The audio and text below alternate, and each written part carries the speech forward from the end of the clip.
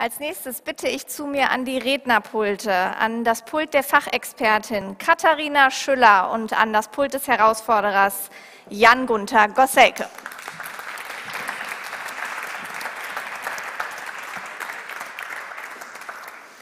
Ja, ich freue mich wirklich sehr, dass Katharina Schüller heute bei uns zu Gast ist. Sie ist die Vorständin der Deutschen Statistischen Gesellschaft. Sie ist äh, Gründerin und Geschäftsführerin des Unternehmens StatUp und viele von Ihnen werden sie wahrscheinlich kennen und so schätzen wie wir als eine der regelmäßigen Autorinnen unserer beliebten Unstatistik des Monats. Herzlich willkommen. Danke.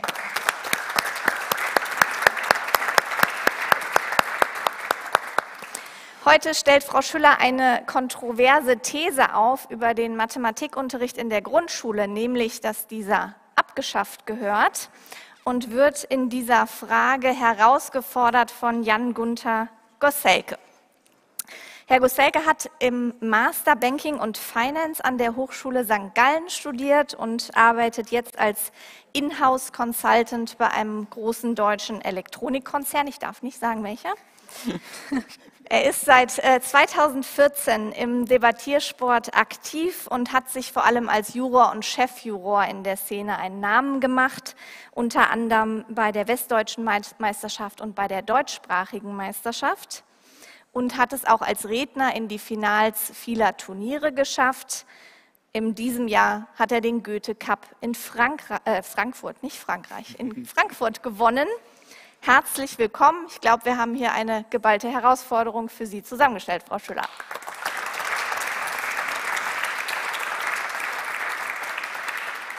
Ja, Sie kennen das Spiel schon. Sie wissen auch, was zu tun ist. Es geht los mit zwei Minuten Eröffnungsstatement. Vielen Dank. Zuallererst, Mathematik ist wichtig. Vielleicht nicht sexy, aber verdammt wichtig. Schlüsselkompetenzen wie Data Literacy sind heute unerlässlich und sie erfordern ein grundlegendes Verständnis dafür, wie aus realen Problemen Daten und wie aus Daten Wissen wird und welche mathematisch-statistischen Werkzeuge es dafür braucht. Aber sie besitzen auch in hohem Maße interdisziplinären Charakter. Die heute immer noch in der Grundschule übliche Art und Weise, Mathematik als eigenes Fach zu vermitteln, taugt dafür nicht. Sie versagt, wenn es darum geht, Mathematik als elementare Kulturtechnik so herauszustellen, dass ihre Schlüsselrolle erkannt wird. Als unersetzliches Werkzeug, um unsere zunehmend von Digitalisierung und Daten geprägte Welt durch Abstraktion zu ordnen und zu verstehen. Und dass das auch erkannt wird von SchülerInnen unterschiedlichster Herkunft, sozialer Prägung und Interessen. Das Kernproblem dabei ist, es gibt zwar Sachaufgaben, Praxisbeispiele, aber diese Beispiele wirken häufig doch sehr, nun ja, konstruiert. Kaufe 16 Bleistifte, 28 Paprika und 34 Rollen Klopapier. Also ich glaube nicht, dass irgendein Kind das jemals machen würde. Und selbst mir fehlt die Fantasie, wofür man diese Produktkombination eigentlich brauchen könnte. In anderen Schulfächern bleibt die Mathematik hingegen weitgehend außen vor. Kurz gesagt, der heutige Matheunterricht koppelt Mathematik vom echten Leben ab. Deswegen plädiere ich gegen Mathematik als eigenes Fach in der Grundschule. Vielmehr muss die essentielle Bedeutung mathematisch-statistischer Methoden und Werkzeuge in allen Fächern kontinuierlich vermittelt werden.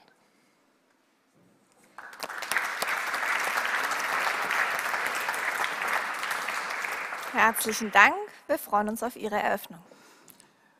Meine Damen und Herren, Worte wie Konfidenzintervall, wie Kurtosis, wie lineare Algebra mögen hier Freude im Raum hervorrufen. Bei vielen Schülerinnen und Schülern, bei vielen Studentinnen und Studenten haben sie immer noch ein Schreckensbild im Kopf. Und warum ist das der Fall? Weil es unglaublich komplexe Themen sind. Und äh, weil sie trotzdem essentiell sind für Themen bei der Datenanalyse, bei der, äh, nachher bei der statistischen Einordnung. Genau die Themen, die Frau Schüller auch erreichen möchte und wo ich ganz bei ihr bin.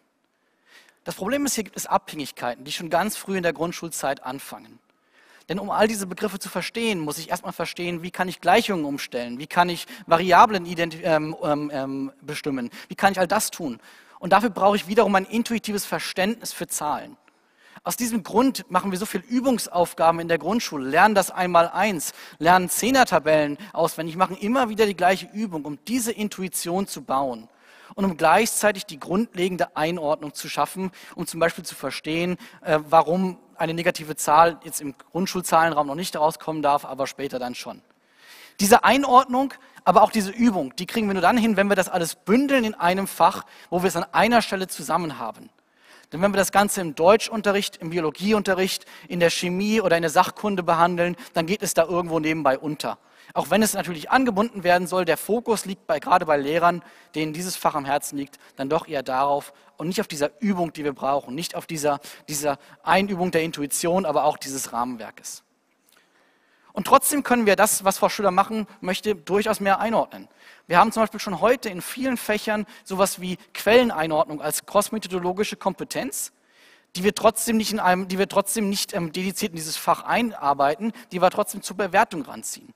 Ich glaube, es ist deswegen sinnvoller, wenn wir sagen, wir behalten ein Kernfach Mathematik, in dem wir all diese Sachen behandeln und versuchen stattdessen zu sagen, mach doch dann mal eine praktische Anwendung in einem anderen Fach, aber die Übung, die Vermittlung, die bleibt in einem eigenständigen Thema. Herzlichen Dank.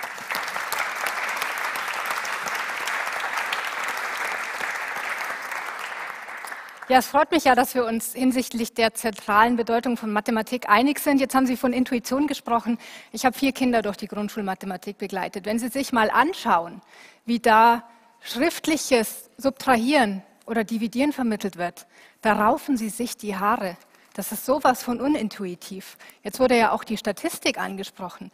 Das ist ungefähr so nachhaltig, diese Vermittlung dieser grundlegenden Mathematikkompetenzen, wie wenn Sie im Statistikkurs im ersten Semester den Studierenden beibringen, Normalverteilungsquantile in einer Tabelle nachzuschlagen. Kein Wunder, dass die das nach, nach der Klausur sofort wieder vergessen, weil niemand im Leben mehr so arbeitet. Und so vermittelt auch der Matheunterricht in der Grundschule ein völlig falsches Bild der Funktion von Mathematik. Kinder lernen von klein an, unsere Welt sei berechenbar und es gebe für jedes Problem genau eine dauerhafte, kontextunabhängige, richtige Lösung. Die Realität, nicht erst seit der Pandemie mit ihren datengetriebenen, aber ja offensichtlich alles andere als objektiv berechenbaren Lösungen, die lehrt uns das Gegenteil. Und das lernen schon kleine Kinder. Das Fach Mathematik dafür mit ähm, mehr Praxisbeispielen anzureichern, das klingt charmant, aber das wäre kein praktikabler Weg. Denn es bräuchte dann mindestens 30 Mathestunden pro Woche, wenn nicht mehr, weil so viele Anwendungsbereiche entsprechende Kompetenzen erfordern. Deswegen gehören Mathematik und Statistik als Querschnittsdisziplin in jedes einzelne Schulfach. Jedes Fach sollte zukünftig aus drei Perspektiven vermittelt werden. Erstens der anwendungsbezogenen das Was der Erkenntnisgewinnung, also das fachspezifische Wissen. Zweitens der technisch-methodischen, das Wie der Erkenntnisgewinnung und dahin gehört die Mathematik.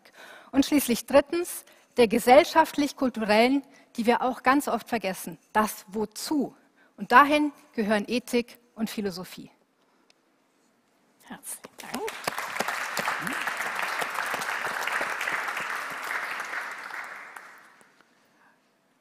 Frau Schüller, vielen Dank. Ich bin ganz bei Ihnen, dass das Beispiel mit äh, Peter isst 60 Maß äh, und was hat er jetzt, äh, nur noch 30 Maß oder Diabetes, äh, dass, das, äh, dass das keine praktikablen Beispiele sind. Das, glaube ich, weist aber eher darauf hin, dass wir den Matheunterricht besser anbinden sollten, als dass wir ihn komplett abschaffen sollten. Dass wir zum Beispiel Formate aufsetzen, wo wir sagen, die Lehrer müssen mehr zusammenarbeiten, um eben Beispiele aus anderen Unterrichtsalltagen zu nehmen. Wie wir es zum Beispiel bei dem fünfte Klasse Informatik häufig haben, wo wir sagen, man redet über Präsentationstechniken und gleichzeitig wird sich abgestimmt mit einem Deutschlehrer, mit einem Englischlehrer, mit einer Französischlehrerin, wie man das einbinden kann. Und diese Abstimmung zu fördern, ist, glaube ich, äh, deutlich zielführender, um genau diese besseren Beispiele zu erreichen, als es komplett abzuschaffen.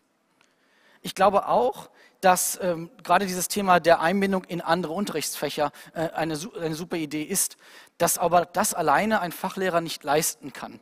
Denn ein, ähm, jemand, der ein, etwas ganz anderes vom Fachlichen studiert hat, der weiß vielleicht gar nicht, wie eine Wortanalyse funktioniert, ähm, weil man sich im Germanistikstudium viel mit Stiltechniken, mit Mitteln und nicht mit Word Clouds oder mit irgendwelchen Document Term Matrices oder was es da alles für Fachwörter gibt, ähm, beschäftigt hat. Und deswegen sind die auch gar nicht in der Lage, diese Einbindung, die sie wollen, dort zu erreichen und brauchen da die Unterstützung durch jemanden, der die Grundlagen dediziert vermitteln kann. Deswegen glaube ich, ist es wichtig, diesen Teil zu behalten. Zuletzt geht es ja auch darum, irgendwann nachzuvollziehen, warum all diese Themen, die Sie angesprochen haben, mit Biases, mit fragwürdigen äh, Interpretationen von Daten, wie man die identifizieren kann. Und dafür braucht man irgendwann auch das tiefergehende mathematische Verständnis. Und das erhält man nur, wenn man vorher eben die Grundlagen geschafft hat, um auch die äh, Möglichkeit zu haben, Sachen genauer zu hinterfragen und nicht nur an der Oberfläche zu kratzen, wie es bei der Einteilung neben diesen zwei anderen Spalten zwangsläufig aus Zeitgründen der Fall ist. Deswegen sollten wir das weiterhin beibehalten, glaube ich.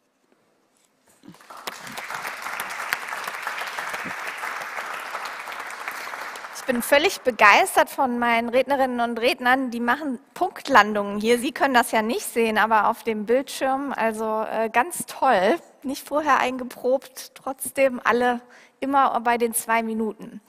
Dann kommen Sie jetzt gerne zu mir und äh, wir spinden Sie wieder ein als Publikum jede und jeder von Ihnen hat Matheunterricht in der Grundschule gehabt. Genau, da kommen die ersten Fragen. Sehr schön.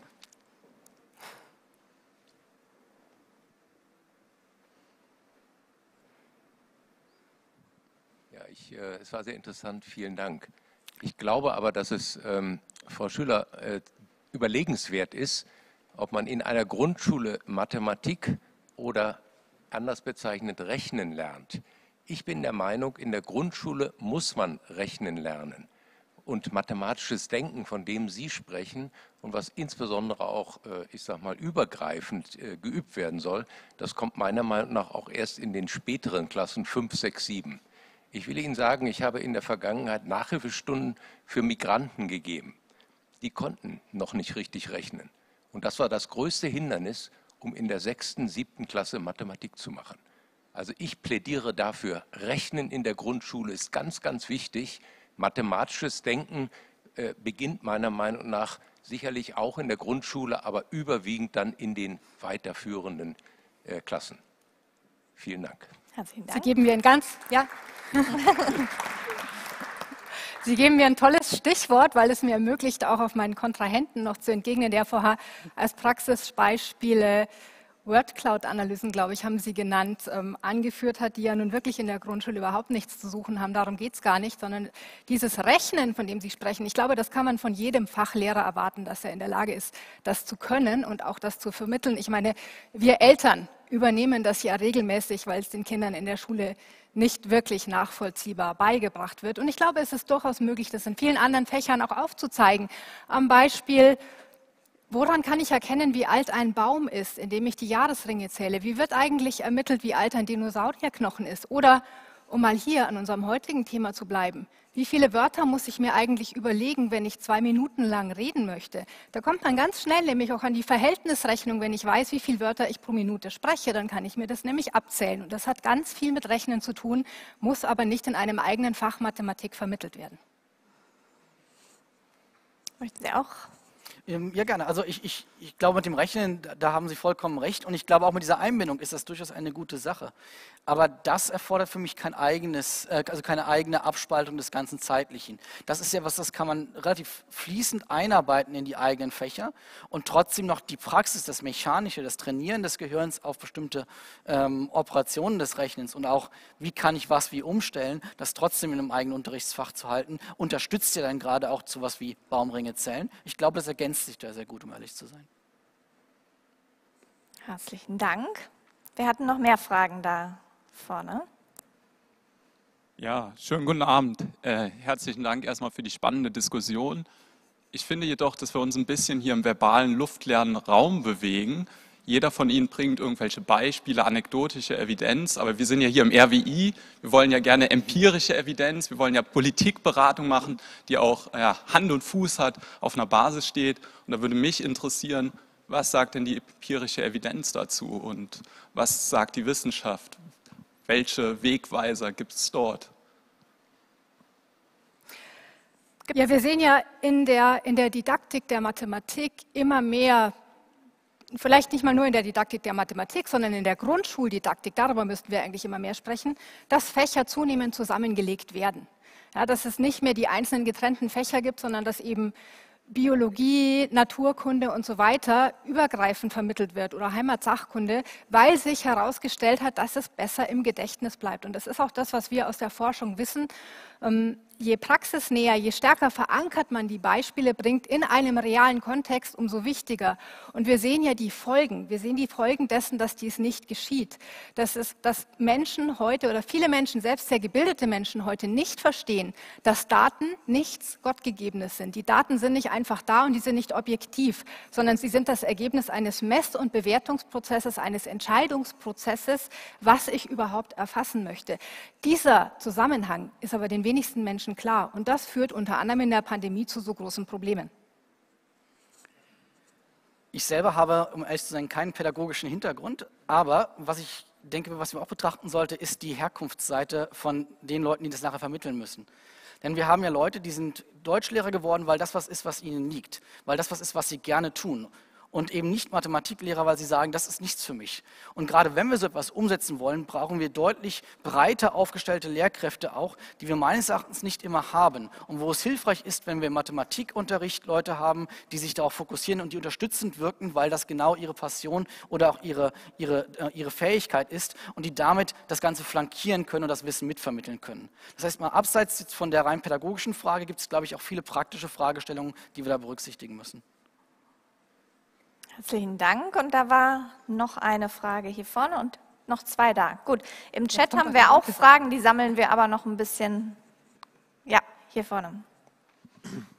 Hallo, äh, im Grunde meine Frage hat sich, äh, wer konkret auf den Punkt, den Sie eben angebracht haben, wie das konkret funktionieren würde, dass man halt gerade Lehrkräfte, die eben nicht Mathematik studiert haben, diese Konzepte so bringen würde, dass sie halt die auch weitervermitteln können, weil das ja sehr oft, auch gerade beim Statistischen, sehr kontraintuitive Konzepte sind. Also wurde beantwortet schon, oder? Im Grunde. Ja, ich kann dazu vielleicht noch ein, zwei Sätze sagen. Ich denke, dass man durchaus Rechenaufgaben auch in anderen Fach Bereichen, in anderen Fächern als Hausaufgabe mitvergeben kann, ohne es explizit Rechnen zu nennen. Ja, vielleicht mag man das dann noch vertiefen in, in Exkursen, die etwas mehr auf das Methodische eingehen, aber letztlich ähm, ist es ja auch in vielen anderen Studienfächern mittlerweile so, dass diese Methoden letztlich nebenher vermittelt werden, beziehungsweise das, was sie eigentlich brauchen, um fachlich zu arbeiten, in den Statistikkursen gerade nicht drankommt. Und das ist eines der großen Probleme. Gut, wir haben hier vorne noch eine Frage. Da müsste der Kollege einmal sprinten, bitte.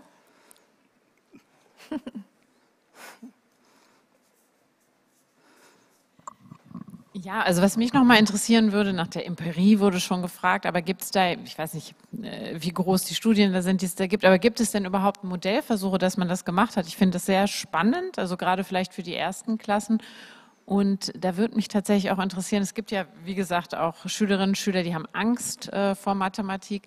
Wenn man das mehr integriert, kann das vielleicht besser werden oder gibt es da gar keine Erkenntnisse? Also ich kenne keine Modellversuche in der Grundschule und ich denke, das ist auch mit ein, einer der Gründe, warum das nicht passiert, ist, dass es ja bedeuten würde, man müsste die ganzen Schulbücher ändern. Ja, und das ist natürlich auch ein ganz großes sagen wir mal, ein ökonomisches Interesse, warum Matheunterricht als separates Fach weitergeführt werden sollte. Man spricht nicht darüber. Aber ist das, ähm, wir haben mal versucht, äh, Schulbücher, also an Schulbuchverlage ranzutreten mit unserem Statistikbuch mit interaktiven Elementen. Das Interesse ist genau null, obwohl klar ist, dass es viel bessere Lernerfolge hervorruft. Aber wir sehen solche Experimente dann in der Hochschulbildung, nämlich beim Thema Data Literacy. Es gibt immer mehr Data Literacy Kurse an deutschen Hochschulen, die genau diesen interdisziplinären Ansatz fahren und die sind extrem erfolgreich in der Vermittlung dieser Kompetenzen. Ich glaube, mittlerweile sind es über 25 deutsche Hochschulen, die solche Kurse oder solche Angebote im Programm haben, teilweise auch gefördert durch verschiedene Landesregierungen oder durch den Stifterverband der Wissenschaften. Und wir bekommen ausschließlich positive Rückmeldungen. Gut, dann holen wir jetzt eine Frage aus dem Chat noch dazu. Gerne auch hier gleich noch aus dem Saal. Ähm ja, wir haben gleich mehrere Fragen, die sich mit den Konsequenzen auf die weiterführenden Schulen beschäftigen. Ich stelle jetzt mal stellvertretend Diese Frage, würde die Abschaffung des Mathematikunterrichts in der Grundschule die genannten Probleme nicht lediglich in die weiterführenden Schulen verschieben?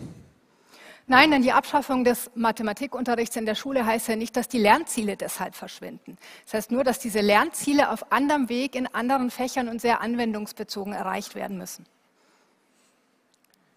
Ich sehe die Gefahr da schon ein bisschen, um ehrlich zu sein, ähm, aus vor dem Hintergrund, dass ja die Verantwortung auch auf verschiedene Fächer verteilt ist, nicht? Also wenn wir sagen, wir wollen es in verschiedenen Fächern lehren und berücksichtigen, ist dann, wenn jemand nicht das Zahlengefühl fürs bloße Zählen, sagen wir mal, gelernt hat, ist dann eben Sachkunde schuld, weil die Baumringe nicht gezählt worden sind. Wie ist es im Deutschunterricht gelaufen? Und ich glaube, da gibt es auch ein, ein gewisses Verantwortungsstreuung, eine gewisse Verantwortungssteuerung, die das erschwert, eben genau diese, diese Qualitätsstandards auch sicherzustellen in den weiterführenden Schulen. Mhm. Ja, gerne noch mehr Fragen aus dem Chat. Eine weitere Frage an Frau Schüller, die ein bisschen an das anschließt, was Herr Gusselke gerade schon gesagt hat.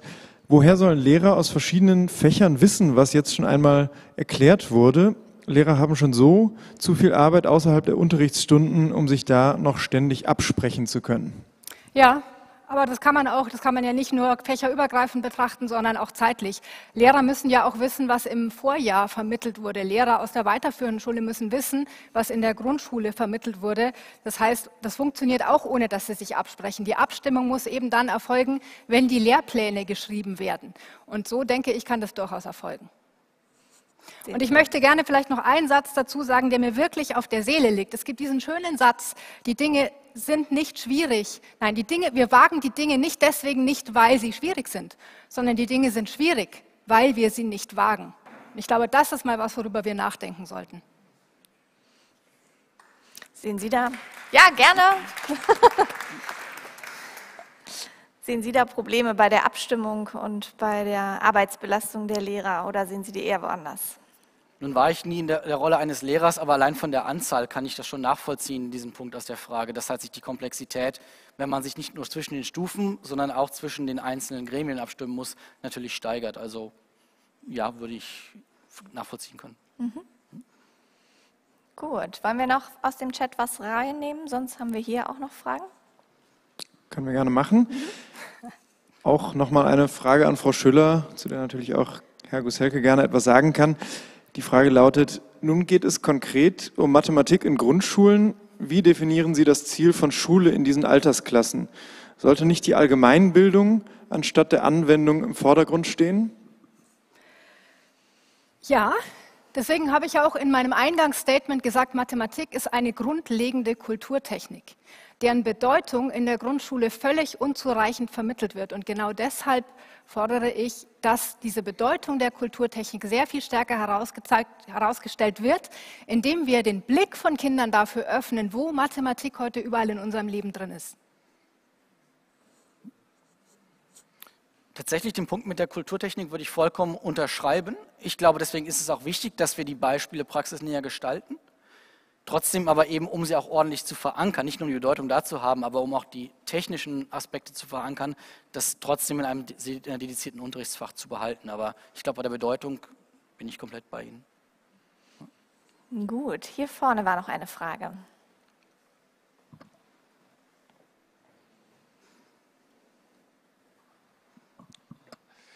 Vielen Dank für die spannende Debatte. Ich bin begeistert von der Idee, Mathematik als Querschnittsthema auch in der Schule zu begreifen. Mich hat es doch etwas gewundert trotzdem, dass ähm, das Gleichsetzen von Erkenntnisgewinn mit ähm, quantitativem Verständnis bislang gar nicht angefochten wurde und würde dementsprechend gerne mal fragen, in, in welcher Relation Sie beide den, den, die Notwendigkeit quantitativen Erkenntnisgewinns mit ähm, anderen Methoden sehen, qualitativen mhm. Methoden. Ja, ich ähm, habe deswegen auch nicht nur von Mathematik gesprochen, sondern von mathematisch-statistischen Methoden, die ja teilweise auch ins Qualitative mit reingehen. Sie haben absolut recht. Ähm, wenn ich von Data Literacy, Literacy, spreche, und das ist ja für mich das übergreifendere Thema, dann geht es darum zu verstehen, wie der gesamte Erkenntnisprozess mit Hilfe von Daten funktioniert. Und der beginnt immer in der realen Welt und mit der Frage, welche Phänomene wir eigentlich überhaupt erfassen wollen. Dann, wie wir diese Phänomene in Daten, das können quantitative Daten sein, es können aber auch qualitative Informationen sein, überführen, diese wiederum auswerten, interpretieren und zurückführen in reales Handeln. Da sind sehr viele qualitative Elemente in diesem Erkenntnisprozess auch mit enthalten. Ja, nur das kommt natürlich in der Grundschule erstmal überhaupt nicht vor. Also eigentlich müsste man das noch zusätzlich ergänzen. Ich glaube, das ist auch teilweise ziemlich verwoben ineinander, also das Qualitative und das Quantitative. Wenn wir uns diese Frage zum Beispiel der, der, Datenquelle anschauen, dann ist das ja auch relativ nah an so einer Quelleneinordnung, wie wir sie in Textbereichen, jetzt nicht in der Grundschule, aber später auch schon haben. Und daran anzuschließen, ergibt, denke ich, definitiv Sinn. Ich denke, das ist losgelöst von der Frage, ob wir das eigene Fach dafür brauchen, aber würde ich definitiv auch den Bedarf sehen, das hier auch anzuwenden, auch den qualitativen Teil. Und dann ist die Frage, vermutlich würde es auch Sinn ergeben, das dann in im Teil des Mathematikunterrichtes zu thematisieren, aber vermutlich auch nicht in der Grundschule, sondern dann, wenn man ein grundlegendes Verständnis geschaffen hat für eben auch, wo kommen Daten her, ähm, was für Biases könnte es da geben, dass man das auch behandelt, definitiv. Gut, ich lasse noch mal. Ja, da noch eins, zwei. Gut. noch haben wir die Zeit. Ja, ich bin hin und her gerissen, was ich gut finde. Ähm, ich denke auch, ich bin auch vielleicht auch beim Vorthema, weil es sehr viel mit Ungleichheit zu tun hat, mit den Frauen-Männer-Ungleichheit, wo wir es ja ein bisschen haben, nicht nur dieses eh bisschen, sondern Steuerklasse 5 lassen sich Frauen eher kleinrechnen, die aber in der Schule ja eigentlich immer sehr gut performen. Wir haben mehr Abiturientinnen als Abiturienten. Also die haben ja eigentlich die Fähigkeiten, aber kriegen es dann im Erwachsenenleben nicht auf die Kette zu sagen, nee, hallo, eigentlich habe ich genauso das Recht irgendwie. Und deswegen frage ich mich, ob Ihr Ansatz, Frau Schüller, nicht eigentlich vielleicht da auch helfen würde, diese Ungleichheit da stärker zu, äh, zu verringern. Auf der anderen Seite kam das Thema Migranten, also vielleicht eher Kinder, die irgendwie aus Haushalten kommen, wo die Unterstützung nicht so da ist, aber wo Sprachprobleme sind, könnte dann Ihr Ansatz nicht genau das Gegenteil irgendwie ähm, das noch verschärfen, dass wenn ich jetzt noch komplexer an Mathe rangeführt wäre oder anders, dass es noch schwieriger ist, wenn ich Sprachprobleme habe. Also ich bin so, dass ich denke, naja, will, vielleicht wird es Genderunterschiede verringern auf der einen Seite. Auf der anderen Seite befürchte ich, dass es aber Unterschiede vielleicht zwischen anderen Gruppen auch eher verstärkt, wenn ich Mathe nicht erstmal als dieses reine Zahlenfach, wo ich nicht die Sprache so sonderlich gut für kennen muss, um es erstmal zu bearbeiten und meine Erfolge zu haben. Also das wäre so meine Frage an Sie beide, ob Sie das hm. so sehen oder ob Sie sagen, nee, es ist Quatsch. Ja, es ist ein interessanter Punkt. Ich, äh, die Frage ist, wie komplex man sich verbal ausdrücken muss, um mathematische Sachverhalte oder Rechnen zu vermitteln. Vielleicht kann man das auch bildlich darstellen, visualisieren. Da gibt es ja sicherlich auch sogar in der Mengelehre auch viele verschiedene Möglichkeiten, Dinge einfach in Bildern darzustellen. Aber es ist ein interessanter Punkt, den Sie ansprechen. Mir kommt da eben gerade erstens, dass dieser Satz, ach, in Mathe war ich ja immer schlecht, tendenziell doch auch eher von Frauen gesagt wird als von Männern. Und ich finde, das ist einfach ein Unding heute, weil diese mathematisch-statistischen Kompetenzen ja die Grundlage sind von Schlüsselkompetenzen, die wir heute einfach für eine gesellschaftliche Teilhabe in unserer durch Digitalisierung geprägten Welt brauchen. Das heißt, es geht im Kern um eine Demokratiefähigkeit. Und der zweite Punkt, der mir dazu in den Sinn kommt, ist, es gibt für Erwachsene ja eine ganze Menge Bücher, die genau dahin ansetzen, dieses Thema, die Bedeutung der Mathematik zu vermitteln. Also zum Beispiel How to be Right oder Weapons of Math, Dest Math Destruction heißt es, glaube ich. Ähm, dann äh, Klick von unserem Unstatistikkollegen Gerd Gigerenzer, das sind Bestseller, das sind keine Lehrbücher. Ja, weil die nämlich eben das aufholen müssen, was wir bei den Kindern versäumt haben. Und sie können den Erwachsenen nicht dazu zwingen, dass die sich Formeln reinpauken, die keinen Bezug haben zu ihrem realen Leben. Und deswegen frage ich mich, warum machen wir das eigentlich bei den Kindern? Sagen Sie, Ungleichheit wird verschärft. ich glaube tatsächlich, wenn wir einen Ansprechpartner für Leute haben, die das Gefühl haben, sie werden im Moment abgehängt, dann schaffen wir weniger Ungleichheit. Dann schaffen wir mehr jemanden, an den sich diese Leute wenden können, egal ob es jetzt Geschlechterunterschiede sind oder individuelle Unterschiede oder Unterschiede zwischen dem Sprachstatus. Wenn wir wissen, diese eine Person, Mathelehrerin, Mathelehrer, ist die Person, an die kann ich mich als Schüler als Schülerin, als Elternteil oder auch als Lehrer-Kollege, der merkt, da bestehen Defizite, wenden, dass wir dann viel mehr Möglichkeit haben, so Defizite aufzuarbeiten oder auch nur wahrgenommene Defizite anzusprechen, zu sagen, hör mal, du bist doch eigentlich sehr gut. Und deswegen glaube ich, dass so eine Ansprechperson sehr viel hilfreicher ist, um Selbstbewusstsein aufzubauen und damit zu mehr Gleichheit führt tatsächlich.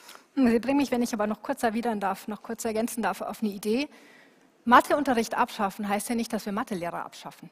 Es könnte ja ähnlich wie Förderlehrer, die es in vielerorts in Grundschulen gibt, auch Mathelehrer geben, die zusätzlich in den Unterricht reinkommen und die Methodik nochmal vertiefen, ohne dass das als eigenes Fach geframed wird. Vielleicht wäre das ein praktikabler Ansatz, mit diesem Problem umzugehen. Okay, interessanter Ansatz. Wir haben da noch eine letzte Frage, die wir gerne noch aufnehmen.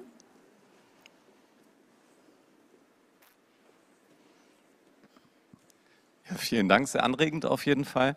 Äh, erlauben Sie mir eine kurze Anmerkung. Ich wundere mich ein bisschen darüber, dass so viel über Formeln zum Beispiel geredet wird, weil wir ja über den Mathematikunterricht in der Grundschule sprechen und da vielleicht auch noch ein bisschen basaler unterwegs sind.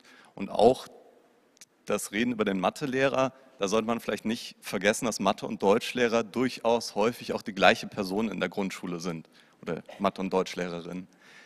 Ähm, als Frage an Frau Schüller, würde ich gerne noch stellen, ähm, Sie sprechen ja von Mathematik als elementarer Kulturfertigkeit. Da würde ich mich auf jeden Fall auch anschließen und denke natürlich gleich an die anderen klassischen Kulturfertigkeiten, also Lesen und Schreiben.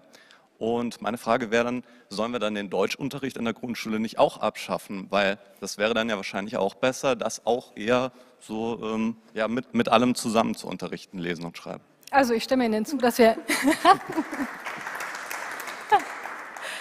dass wir viel mehr Interdisziplinarität brauchen in der Grundschule, auf jeden Fall. Auf der anderen Seite ist Deutsch ja implizit in den anderen Fächern in der Grundschule schon mit drin, weil meines Wissens wird in den Grundschulen auf Deutsch unterrichtet. Insofern, und es werden durchaus auch Rechtschreibfehler angekreidet, wenn man im Heimatsachkundeunterricht was falsch schreibt. Insofern haben wir ja da schon in gewisser Weise den Ansatz. Schon. Bin schon stumm geschaltet, ja. Aber das heißt ja eigentlich, Deutschunterricht kann weg, oder? Weil es ist ja in den anderen Fächern schon drin. Wenn wir das Gefühl hätten, dass die Erwachsenen in Deutschland zu wenig Deutsch können und dass diese Kompetenzen zu wenig vermittelt sind, glaube ich, müssten wir darüber auch mal stärker nachdenken, wie wir Deutsch besser vermitteln und ob wir den Deutschunterricht in seiner jetzigen Form nicht abschaffen. Nun gibt es natürlich einen gewissen Prozentsatz mindestens an funktionalem Analphabetismus in Deutschland. Ähm, das sind allerdings häufig ähm, ältere Menschen, das sind auch durchaus häufiger Menschen mit Migrationshintergrund. Also ist es vielleicht nicht unbedingt die aktuelle Zielgruppe der Schülerinnen und Schüler, bei denen wir da große Probleme haben.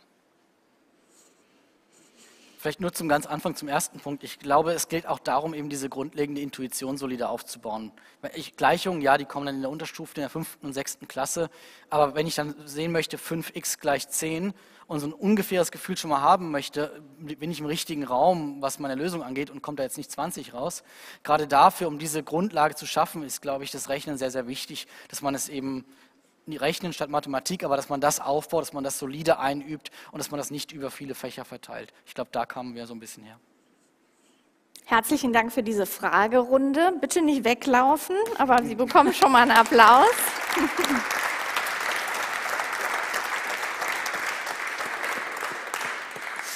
Und dann werden jetzt die Take-Home-Messages für uns nochmal kompakt zusammengefasst im Abschlussplädoyer von Frau Schüller. Ja, ich wurde ja vorhin schon nach der Empirie gefragt und ich bin auch Statistikerin, deswegen habe ich selbstverständlich eine kleine Umfrage gemacht. Ich habe SchülerInnen ungefähr im Alter 13 bis 17 Jahre gefragt, woran sie sich im Grundschulmathematik erinnern und die Antworten sind ziemlich ernüchternd. Keine Ahnung. Google halt nach Lehrplan Plus, wenn du das wissen willst. Ich kann schauen, ob ich meine alten Hefte, es sind O-Töne, ja? Ich kann schauen, ob ich meine alten Hefte finde, aber wirkliche Erinnerung habe ich nicht mehr. Also wir haben das immer mit diesem Elefanten gelernt, aber ich weiß keine genauen Sachen mehr. Das bleibt also hängen. Dabei geht es doch um grundlegende Kompetenzen, die unser Weltbild prägen. Stichwort Migranten. Wer sich ein bisschen mit anderen Kulturkreisen befasst, der erkennt das auch sofort. In Uganda zum Beispiel kennt man keine Postleitzahlen. Und wenn Sie da im Kopf 25 und 17 addieren können, dann weckt das eher fair als Bewunderung. Denn Messen und Zählen ist eben nicht überall normal und schon gar nicht in der Lebenswelt kleiner Kinder. Wenn wir denen aber von klein auf vermitteln, dass es Mathematik gibt und das echte Leben, dann werden wir sie nicht auf die Herausforderungen des 21. Jahrhunderts vorbereiten. Wir müssen unseren Kindern die Augen dafür öffnen, wie Mathematik und Statistik heute jeden Lebensbereich durchdringen. Und Werkzeuge, die man ständig und überall braucht, die muss man natürlich auch ständig und überall üben. Darum gehört Mathematik jeden Tag in jedes Fach hinein und darf nicht auf eine Insel verbannt werden. Der Matheunterricht in der Grundschule gehört abgeschafft.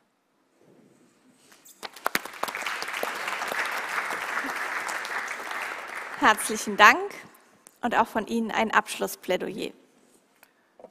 Mathematik als Kulturgut und als Grundlage für viele weitere Fächer in der weiterführenden Schule, aber auch im Leben insgesamt unterschreibe ich sofort, bin ich komplett bei Ihnen, Frau Schiller. Ich glaube aber, dass wir dieses Ziel besser erreichen durch eine Reformation statt eine Revolution, also durch eine Verbesserung des bestehenden Mathematikunterrichtes und auch des Unterrichtes in anderen Fächern, anstatt diesen komplett abzuschaffen dass unsere Textaufgaben näher am tatsächlichen Leben sind, dass wir sie vielleicht an praktischen Beispielen in anderen Unterrichtsformen einbauen. Definitiv sollten wir tun, sollten wir haben. Aber trotzdem brauchen wir die, die Übung und die, die technische Erfahrung, um die Grundlagen für den späteren Mathematikunterricht zu schaffen, um genau das zu vermeiden, was auch teilweise in den Publikumsfragen ankam, nämlich dass man sich nachher der, als Unterstufenlehrerin, als Unterstufenlehrer fragt, muss ich das alles nochmal nacharbeiten, um diese Kontinuität gewährleistet zu haben. Zweitens geht es dabei auch um Gerechtigkeit. Das war ja auch was, was heute in der Debatte aufkam. Dass wir sagen müssen, wir wollen eine Ansprechperson haben, an die sich Leute, die entweder noch nicht so gut in Mathe sind oder die das Gefühl haben, nicht gut in Mathe zu sein, obwohl sie gut in Mathe sind, an die sich diese Leute wenden können. Und ich glaube, da ist es durchaus gut, wenn es auch ein dazugehöriges Fach gibt, um das Vertrauen zu dieser Lehrperson aufzubauen äh, und sie nicht einfach nur so nebenbei mit dabei zu haben. Und auch hier die, ähm, als Gerechtigkeitsaspekt dieses Fach und diese Ansprechperson zu haben, die bei Fragen zur Verfügung steht. Und zuletzt glaube ich auch, dass es schlichtweg nicht notwendig ist, den Mathematikunterricht dafür abzuschaffen. Denn solche Sachen wie eine Übung mal einbauen nebenbei, das kann man in den Unterricht flexibel einweben, so wie man auch Veränderungen wie die Internetrecherche eingearbeitet hat, so wie man auch die Einordnung von Quellen und Autorinnen und Autoren eingearbeitet hat. Das erfordert nicht extra Zeit, dass wir ein komplettes Unterrichtsfach abschaffen müssen. Um also diese Grundlage gewährleistet zu haben, aber auch aus den Gerechtigkeitsgründen aus den weiterführenden Bildungsgründen, glaube ich, sollten wir den Matheunterricht beibehalten und trotzdem natürlich versuchen, ihn so gut und praxisnah wie möglich zu machen.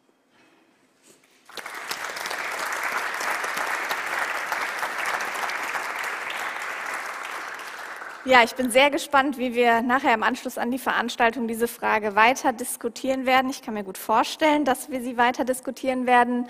Für jetzt bedanke ich mich ganz herzlich bei unserem Debattierduo für die zweite Runde, Katharina Schüller und Jan-Gunther Gosselke.